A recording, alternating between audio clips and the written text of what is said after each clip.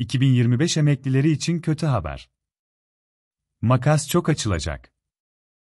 Emekli maaşlarında yaşanan son gelişmeler, emeklileri yakından ilgilendiriyor. Özellikle 2024 ve 2025 yıllarında emekli olanlar arasında önemli bir maaş farkı oluşması bekleniyor. Emeklilik sisteminde yaşanan son gelişmeler, özellikle kök emekli maaşı 12.500 TL'nin altında olanları yakından ilgilendiriyor. Meydana gelen %30'luk maaş farkı, ok sayıda insanı endişelendiriyor. Emeklilik dilekçesi zamanlamasının önemi 5510 sayılı kanundaki güncelleme katsayısı hesaplama yöntemi, 2024-2025 yılları arasında emekli maaşlarında ciddi bir fark yaratıyor. Sosyal Sigortalar Kurumu ve Bağkur emeklilerine yapılan toplam %86, 16'lık zamma rağmen, 2024 yıl sonu enflasyonunun %40'lara ulaşması bekleniyor.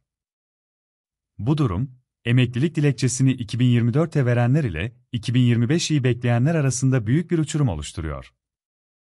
OVP'de hedefler gerçekleşir ise, şu anki maaşlarla Ocak 2025 maaşları arasında %30'u geçen bir fark meydana gelecek.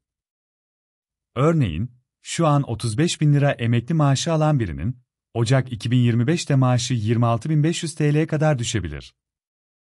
Bu düşüş, düşük maaş alan emeklileri de etkileyecek, 11.800 Türk Lirası olan bir maaş, 9.000 TL'ye kadar gerileyebilir. Kök aylık ve alt sınır uygulaması tartışmaları Emekli maaşlarında uygulanan 12.500 TL'lik alt sınır, birçok vatandaşı yanıltıyor. Bu uygulama geçici olup, esas olan kök aylıktır. Gelecekte, alt sınır artırılmazsa, sadece kök aylık baz alınacak.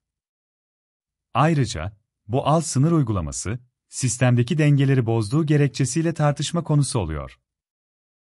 Hükümet, konuyla ilgili çalışmalar yürütüyor.